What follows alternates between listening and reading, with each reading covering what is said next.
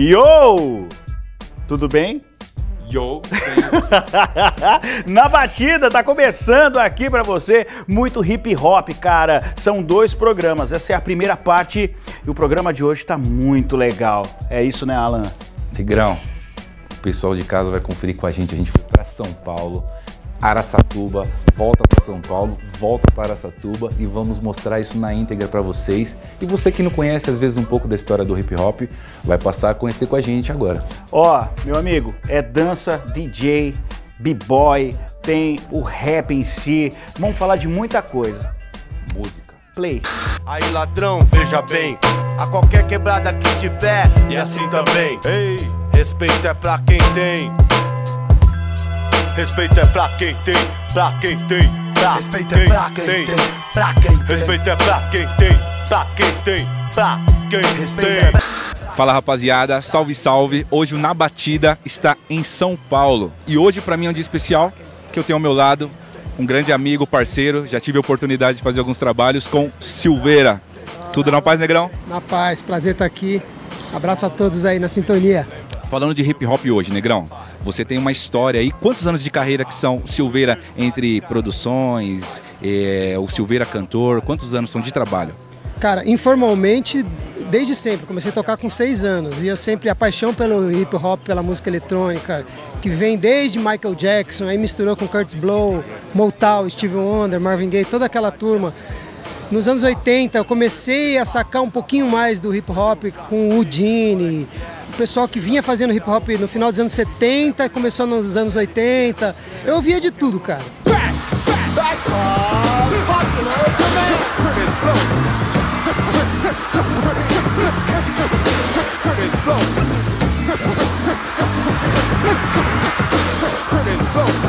Como que funciona você ver o mercado do hip hop hoje falando como produtor?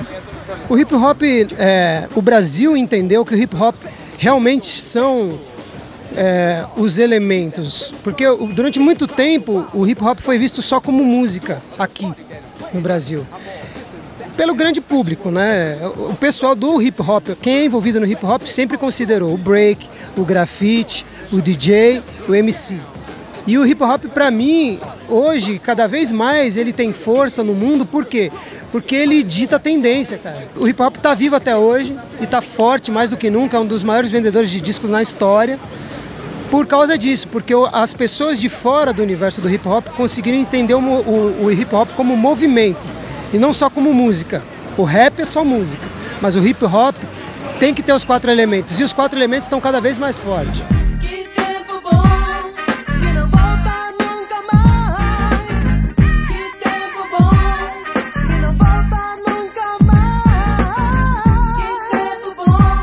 Dentro do hip hop, da black music, quem que você já acompanhou, já teve a oportunidade de trabalhar aí? Eu trabalhava num estúdio, que eu preciso fazer menção a esse estúdio, que é o Atelier Studios, na Major Diogo aqui. E foi lá que eu aprendi as primeiras coisas sobre hip hop, sobre programação, sobre sonoridade, na prática, porque eu conhecia a teoria. E eu fui trabalhar nesse estúdio como programador, para fazer o primeiro disco do DJ Alpiste, Transformação. Foi ali que tudo começou. Eu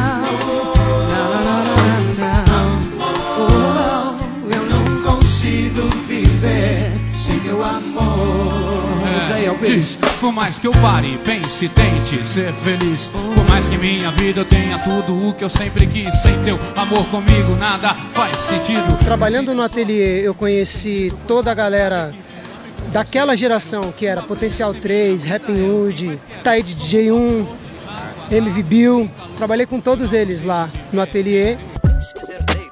Os novos guerreiros, novos descendentes afro-brasileiros da periferia lutam noite e dia, tão na correria como vive a maioria. Guardam na memória uma bela história de um povo guerreiro e tão cheio de glórias. Um pelo poder, dois pela grana. Tem muito cara que entrou pela fama. Plantou na boca tendo outra opção. Não durou quase nada, amanheceu no valão. Porque o E aí com a maior banda de rap de todos os tempos, que é os Racionais, né, cara? Quando eu conheci os Racionais em 97, pessoalmente, um ano depois eu estava no estúdio traba é, trabalhando com eles, com um projeto que o Blue estava produzindo. E depois eu fui excursionar com eles. Então eu fiz a turnê Sobrevivendo no Inferno. A gente trabalhou aqui no Brasil, depois a gente fez Alemanha, Estados Unidos. Definitivamente foi a banda que mais impactou naquele momento, tanto é que está ecoando até hoje. Né? Os Racionais são praticamente uma lenda viva, né, cara? Os caras estão aí, estão nativa, estão fazendo. E trabalhar com eles foi um presente. Pelo certo, pelo certo, pelo certo, pelo certo, pelas verdes, pelos pretos, consequentemente. Uma negra e uma criança nos braços, solitária na floresta de concreto e aço. Veja, olha outra vez o rosto na multidão. A multidão é um monstro sem rosto e coração. São Paulo, terra de arranha-céu. É Galera do Na Batida, esse papo super bacana com Silveira. Silveira, brigadão, prazer ter você aqui. Prazer, cara. Obrigado Até uma pela- próxima. Pelo papo, obrigado pela oportunidade, obrigado, obrigado por me colocar em contato com tanta gente legal que eu tenho certeza que está assistindo. Na batida, agora em Araçatuba, para falar com Sancler, esse cara que tá no movimento há mais de 20 anos. Ele só tem essa cara de novinho, mas é 20 anos no movimento. É um grande amigo e é um dos. Cara, é um, acho que é- se não for o único, é um dos únicos caras que tem um programa em uma rádio FM, que não é, é comunitária, é uma rádio oficial, FM, com um programa de rap, hip hop, falando da cultura de rua. Muito boa tarde pra você que tá na sintonia da Cultura FM, firmeza total, é nóis, tá começando por aqui na 95, mais uma edição do programa Som das Ruas. Fechou, lacrou? Já dizia o Renan do Grupo Inquérito, pra nós que é sofredor, as conquistas vêm de escada, jamais de elevador. mano. É isso aí. Cara, como é que é ter um programa de rádio, de hip hop, que é hip hop, rap, numa região é, de interior, que fala muito de sertanejo? é, e como é que é isso? Cara, pra mim assim, é, é honroso na verdade, porque diferente da minha história com a rádio, diferente da maioria das, da- das histórias das pessoas que iniciam o trabalho em rádio, a minha história ela se iniciou através do, do, do rap, através do hip hop. Não era porque eu gostava de rádio, ou tinha vontade de fazer rádio, virar DJ ou coisa assim, né? Eu queria tocar rap em rádio. E eu iniciei muitos anos atrás aí, 15 anos atrás aí, é, atrás das rádios comunitárias, rádios piratas que existiam muito antes. Mas a gente tinha que pagar, tinha que morrer com uma grana pro dono da rádio, tá ligado? pro cara dar duas horinhas no final de semana Uhum. pra gente. Aí tinha, sempre tinha aquela dificuldade e tal, aí não dava certo. Ia pra outra, ia pra outra, mas sempre tinha que morrer com uma grana na mão dos caras. Um dia um amigo meu me falou: por que você não faz um projeto e apresenta pras rádios é, comerciais aí da sua região? A primeira rádio que eu apresentei esse projeto, esse piloto, foi aqui na Cultura FM pro Juliano Torto. Ele gostou, dali 15 dias o programa foi pro ar e tá no ar até hoje. Quantos anos? 10 anos. 10 anos? 10 anos. Tá de- Sério? 10 anos. Cara, e o mais legal, acreditem, o Sancler, ele é campeão de cartas, mas não é e-mail. Cartas. Cartas. Mostra. Olha que loucura isso, velho. Olha a quantidade de carta que esse cara recebe no programa ali. Como que é isso, Sancler? Eu fiquei sabendo que você recebe muita carta de presídio. Sim, a grande, na verdade, todas as cartas que chegam pra É. gente, a grande maioria é do pessoal que tá, infelizmente, aí cumprindo pena, que tá, tá detido, né? Que Hum. tá do outro lado da muralha. E assim, o pessoal manda carta pedindo música, pedindo pra mandar salve, alguns é, pedindo pra arrumar uma namorada. É verdade, sério? é verdade, cara. Já teve algum Então- presidiário que mandou carta de rap, música? Sim, letra de música, entendeu? Ah, manda isso aí pra um grupo aí, encaminha pra um grupo tal aí. Você Então, mandou? Sim, a gente sempre faz a ponte, assim, dentro do possível, é claro. É. Né? Mesmo porque é uma forma também de incentivar é, é, esse pessoal aí a estar linkado em algo positivo, que é a música, que é a cultura, né? Hoje enxergo o amigo é dinheiro no bolso. Não caguetei ninguém, não dê esse gosto. Fim de tardes, lembranças. O metrô passa, itinerário Jabaquara, cortando a cruzeiro, levando a esperança. Bateu na mente os tempos de criança. Tem uma diferença fundamental entre o hip hop que é produzido na capital e o hip hop que é produzido no interior do Brasil, em especial aqui na nossa região. Na capital, o pessoal co- consegue se organizar um pouco mais, coletivamente falando, entendeu? E atuar, é, transformar a cultura e fazer a, ela- a cultura atuar como movimento, né? Como movimento social, cultural, reivindicar e, e à luta. É, aqui no interior ainda tem essa dificuldade, esse é um desafio. Mas acho que basicamente a diferença é essa, tá em atuar como como movimento, atuar coletivamente, entendeu? E você é um dos caras que é um dos que conseguiu encabeçar vindo do Racionais pra fazer um show. Um show que. Quantas pessoas? Quantas mil pessoas? 57 mil pessoas. 57 mil pessoas de graça é, em Araçatuba. E um dos cabeças foi esse cara aqui.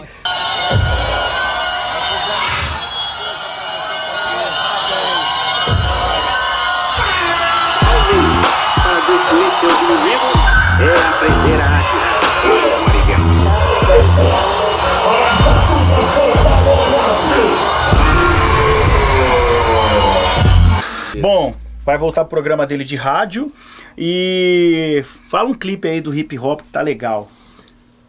Carol Conká, Tom Bay, que tem participação da Jéssica que é daqui de Araçatuba, Legal. fazendo sucesso o Brasil inteiro, vale a pena. Aliás, esse clipe da- com a Jéssica Jesse, né? Nós vamos mostrar a escolinha de dança de hip hop, que é ela que originalizou tudo o negócio da dança. Então, já que é pra tombar, tombei, bora. É de Araçatuba pro mundo. Bora, bora. Já que é pra tombar, tombei. Bang, bang. Já que é pra tombar,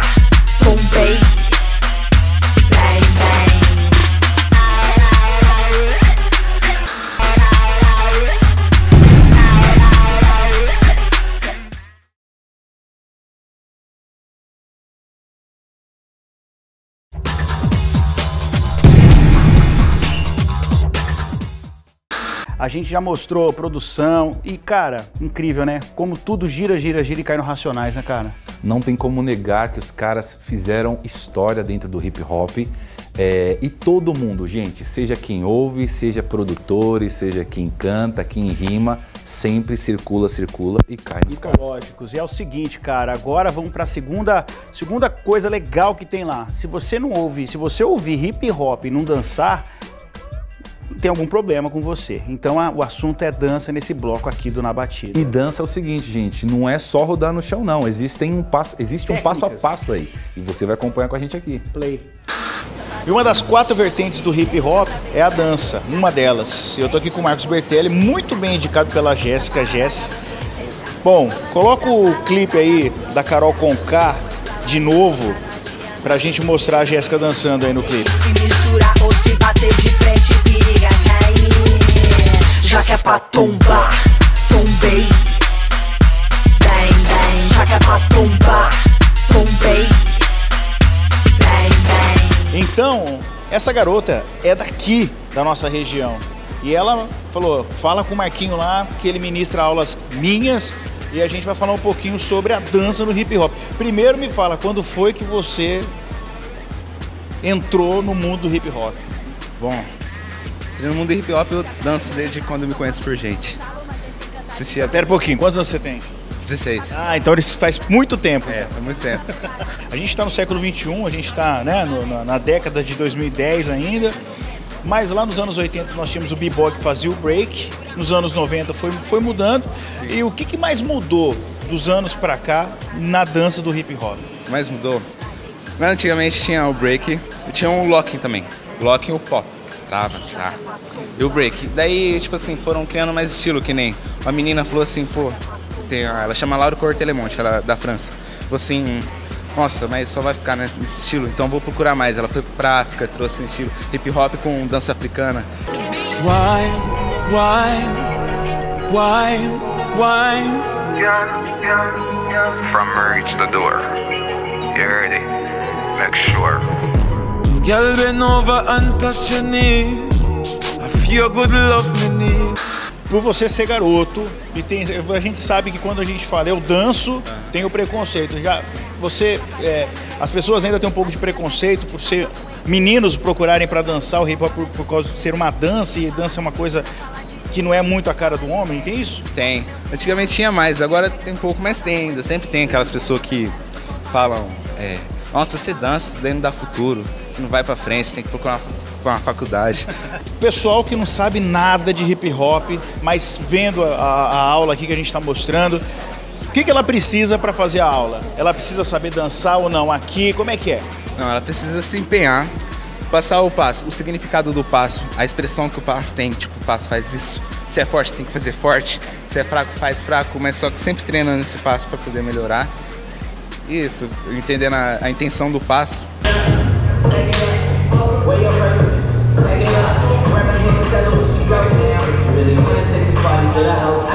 Bom, tô aqui com o Gabriel, que também faz aula de hip hop. Quais são os artistas que você mais gosta do hip hop? Do hip hop também eu gosto muito de Will da Beast, eu gosto bastante dele, das músicas dele, strip, popping, o Usher também é muito legal, o Chris Brown também é muito bom, gosto bastante desses cantores que eles têm muito, muita cultura pra mostrar pra gente. Tá? Mete Chris Brown aí então, bora.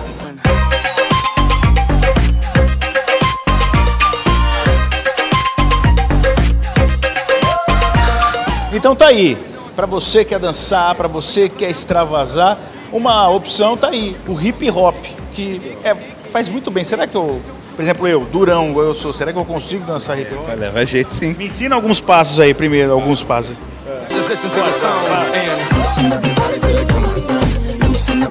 Pegou, moleque. Pegou, moleque. Pegou, moleque. Tchau. Na batida.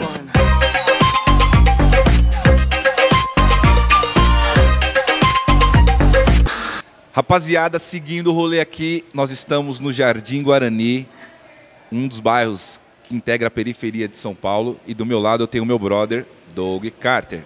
Tudo bem, Doug? Tudo bem, prazer, satisfação enorme.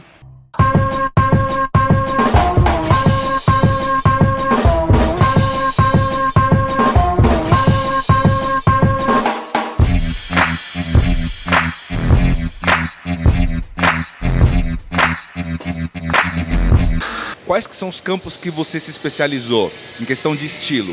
Que hoje a gente está falando de hip hop. Nesse, dentro desse segmento, o que, que você se especializou? Então, é, quando a gente fala termo danças urbanas, né, é algo bem extenso. Danças urbanas são todas as linhas de danças de rua, né? A minha especialidade é hip hop, break dance, popping, locking, house.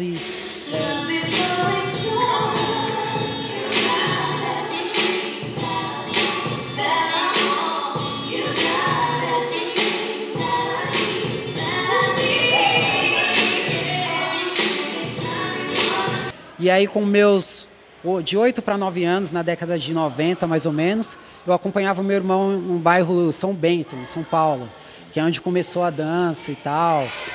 Então, eu tive a oportunidade de fazer aulas com uma companhia chamada Backspin, que é uma das primeiras companhias de São Paulo, e com Nelson Triunfo, Tony Tornado. Você estudou com o Nelson? Fiz aulas com o Nelson Triunfo, fiz aulas com outros caras também que veio dessa, dessa época, né, que dançavam com o Taíde né, na época, né? Então, assim, a minha história nas danças urbanas é assim as primeiras manifestações que teve, né, de dança em São Paulo, né? Eu tive, eu fui, sou um privilegiado de fazer parte disso, de poder ter vivido essa época com a, com a minha família e tal. Grava a cultura do gueto que trouxe vida pra gente. Nós batia na lata, hoje nós bate de frente. Vários irmãos numa missão até aqui, uma geração que conseguiu. A dança no Brasil está sendo valorizada aos poucos, está sendo alcançada, tendo espaço aos poucos, né? Isso com muita luta, né? É, eu posso dizer com muita alegria, assim, que eu sou um privilegiado, que eu, que eu vivo da dança, né? O hip hop para mim é tudo, porque é minha alegria, é meu, diverti é meu divertimento, é meu ganha-pão, né? Meu trabalho. Então eu consigo hoje sustentar minha casa com isso, né? Com a dança hip hop. Então Negrão, obrigado pela atenção, Satisfação. por abrir o espaço pra gente eu aqui. agradeço. Muito obrigado pela oportunidade. Na batida, Doug Carter, segue o rolê.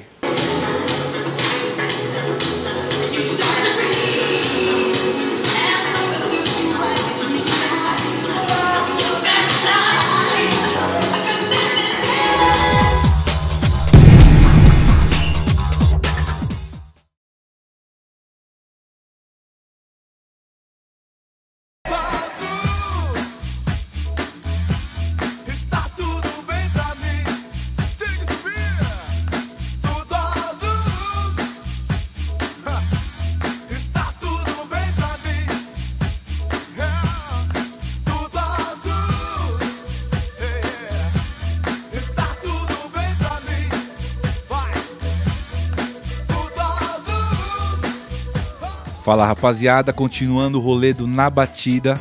Sente o clima aqui do ambiente onde a gente está. É um convidado mais que especial para falar com a gente aí do interior, viu? Tô falando do meu brother Lino Cris.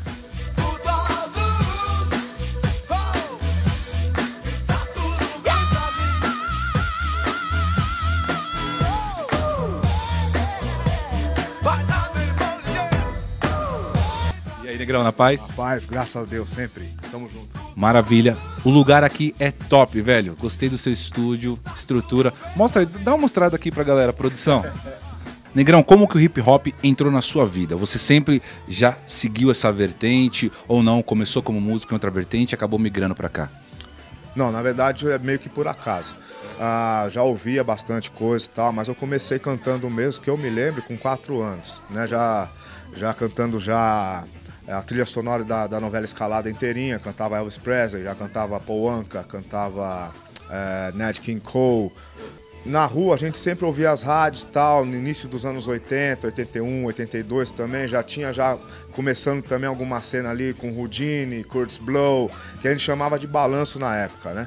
E a partir daí tal, a gente sentia alguma coisa diferente tal. Pô, isso aí é mais- um pouquinho mais falado, mas é legal também, é da hora. Atualmente, o que, que você tá- anda fazendo por aí?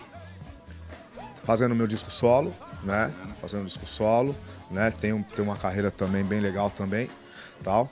Ah, trabalhando com Racionais, né? Fazendo em turnê também com os caras, né? Inclusive também produzi, compus também nesse último disco também do Racionais também, o Cores e Valores. Fala um negócio, eu tô, tô de olho ali, tem uma picape ali. Você manda ali também? Pouquinho. Eu quero ver, eu quero ver. sim, pouquinho. Deixa eu ver, vamos escolher alguma coisa aqui legal aqui. Gente, o cara tem muito, tem muito disco aqui. Sente o drama aí, ó.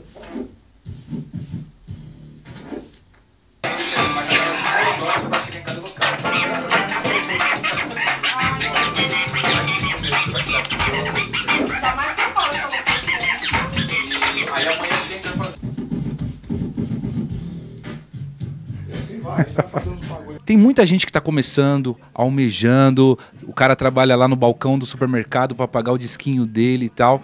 Qual que é a dica do Lino Cris e a grande lição de vida é, na questão de correr atrás dos sonhos para essa galera que tá começando agora, hein? Primeiro lugar, acreditar em si mesmo. Legal. Né? Segundo, é, com a força do nosso Senhor Jesus Cristo, ajudando sempre, pelo amor de Deus, né? Sempre. Velho, tem que acreditar em si mesmo e principalmente, velho, mano, trabalhar. É 90% de trabalho e 10% de talento. Mano, trabalhar pra caramba, buscar, entendeu? Estudar sempre, entendeu? Não digo só musicalmente falando, mas em tudo, saber lidar com negócios, entendeu? Aproveitar que essa, que essa rapaziada tá chegando, os jovens tá chegando com bastante apetite. Negrão, eu agradeço você de coração. Isso, eu tenho a agradecer. Abrir o seu espaço aqui pra gente poder mostrar um pouquinho da sua vida pra galera do interior, né? A nossa intenção é trazer a galera pra esse universo e conhecer um pouquinho das essências do hip hop e você é um cara que tá com o nome lá assinado embaixo disso tudo. Pô, tamo junto aí, vocês são bem-vindos aqui na, na nossa humilde Chopana, aqui no nosso estúdio, aqui no estúdio do, do Lino Cris Studio. Muito obrigado pela presença de vocês mesmo aqui, a rapaziada de Araçatuba aí também, fiquem todos com Deus. Deus abençoe a todos em nome do Senhor Jesus Cristo. E toda a rapaziada também do hip hop, da black music, da música negra em geral, do interior também aí. É isso aí, corre atrás que é isso aí, vocês vão ter, só tem a vencer.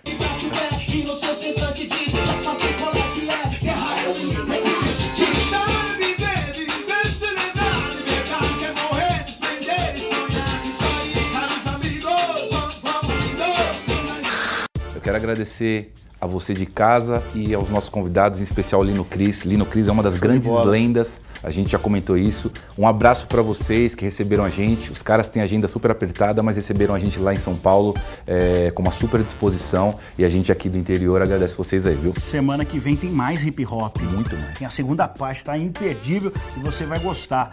E ó, não esquece de curtir a gente lá, Na Batida no Facebook. É isso, semana que vem tem mais hip hop, beleza? Muito mais. Yo!